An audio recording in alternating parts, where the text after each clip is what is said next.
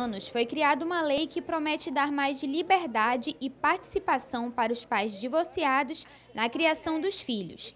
A lei da guarda compartilhada determina que os juízes estabeleçam o compartilhamento da custódia dos filhos, mesmo se não houver acordo entre o casal. É uma responsabilidade conjunta dos pais para com a criação dos seus filhos.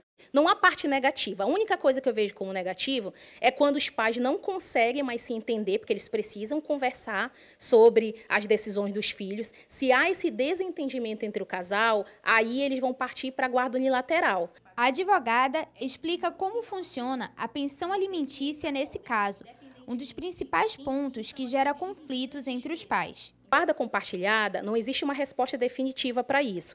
Ambos os pais podem acordarem de, de, da despesa ser dividido meio a meio.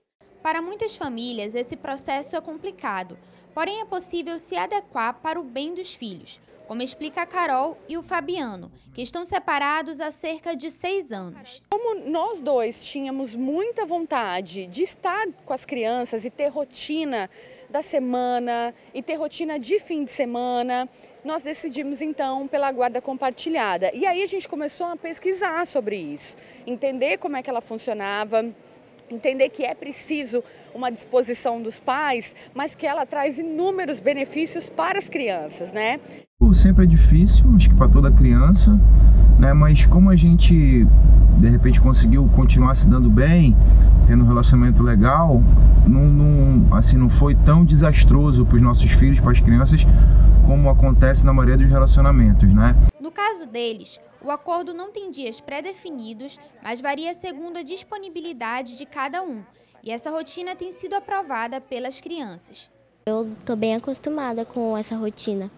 Eu acho muito bom. E também eu gosto disso porque meus pais continuam sendo amigos, mesmo assim.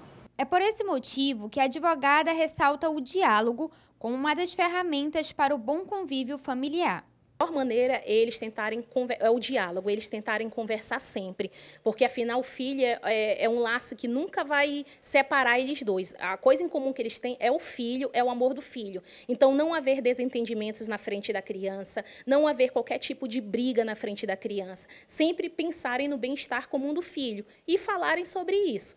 Esse é um dos principais objetivos da guarda compartilhada.